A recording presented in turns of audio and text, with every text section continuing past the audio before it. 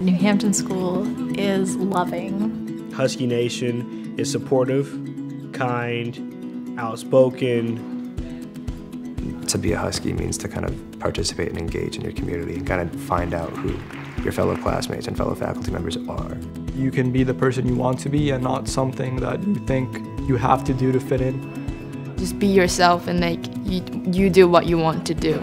Everyone tries new things and together we, we always have great times. The adults at New Hampton School are fantastic. I've really connected with my dorm parents and I couldn't put into words the amount of love that they have for me and then that I have for them. And they really do care about you as a person and they want to see you succeed.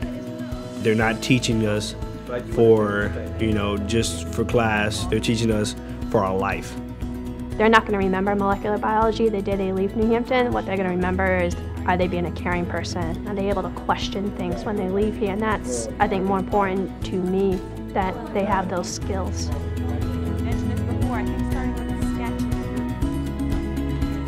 Uh, New Hampton is a place where students can come and find what they're passionate about.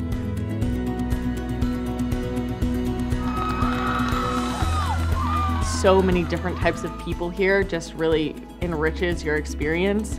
And I definitely think that that has changed how I view the world and what I want to do with my life because I'd never considered anything like international relations but being here makes it that I want to know what's going on in the world and I want to know, you know, how countries communicate.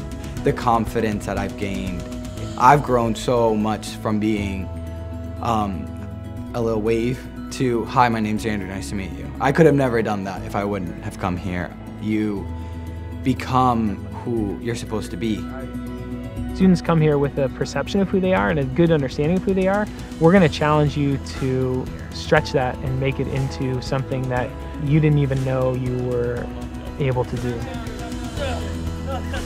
New Hampton loves being a cheerleader.